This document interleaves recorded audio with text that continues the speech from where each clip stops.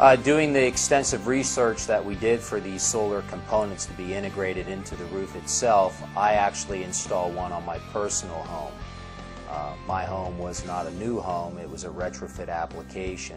The reason I did that is I typically, prior to that being a roofing contractor, always had a negative experience with the traditional solar panels, these big bulky panels that they would come and bolt down through the roof system typically causing roof leaks and, and, failures in the roof system.